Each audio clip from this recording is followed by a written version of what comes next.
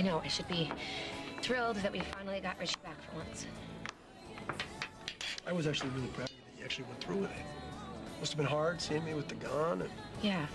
Yeah, I hated it. And blood and pretending I was dead, even though it was fake, I, I hated it. Hey, Richie said the game is on. He needed to know that we were just gonna sit back and take it. Now, now he does.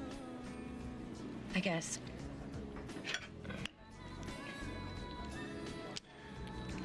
Where is this coming from, Annie?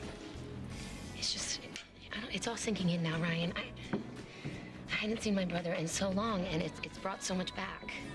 Mostly bad, though, from what you've told me. Mostly, but not all of it. I just don't want to spend the rest of our lives tormenting each other. That's really not up to us. It's up to him.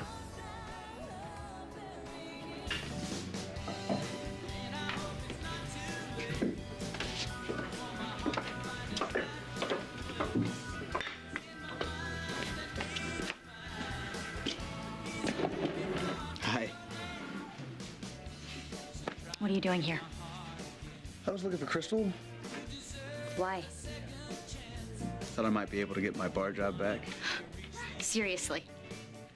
Look, this is the last place I wanted to come, but I've gone everywhere else, and I guess the word is out not to hire me.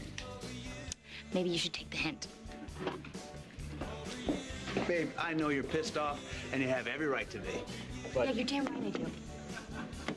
That thing last night with Annie and, and Ryan. You mean the cold-blooded murder that wasn't? Annie lying dead on the floor with, with crazy Ryan holding the gun, that thing? I'm sorry. I shouldn't have involved you. I felt like an idiot. Last time, Richie, no more. What do you want anyway? Why are you still here? Annie doesn't want you here. And don't flatter yourself that one or two nice little kisses means I'm coming back for any more. Just want a job. Then why don't you go to one of the thousands of other cities that aren't Pine Valley? I'm sure they'll welcome you with open arms.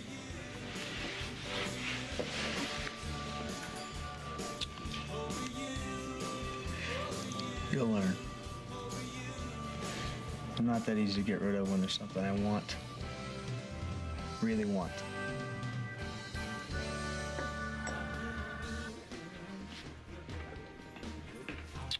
Sorry. For what? All of it. But mostly how you're looking at me right now. How's that?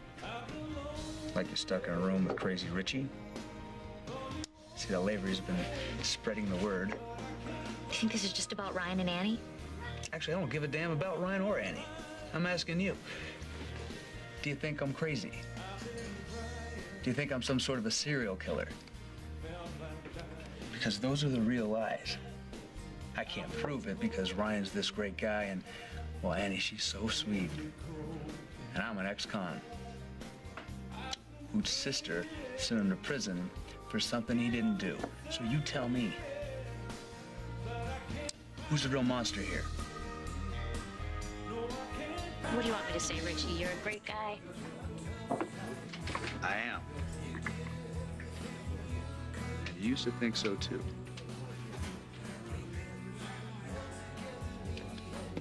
Do we have to go through this again? We had a couple of dates. You were nice to my kid. Emma, who, who was really your niece, but you forgot to tell me. Babe, What do you want from me? Forgiveness? Okay, okay, I forgive you for lying, but it still doesn't change anything. for us. There is no us.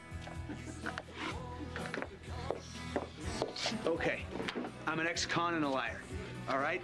But what about your almighty friends, the Laverys? What about the stunt they just pulled? So you say. When I left that apartment, Annie looked like she was dead. There was a pool of blood. I saw the gun. It went off. Ryan shot her. So they played a sick game on you. And I'm the crazy one. Richie, just go, okay? Okay, there's nothing for you here. No job, no sympathy, and and I'm not your girlfriend, all right? So stop acting like it. Just leave. Now.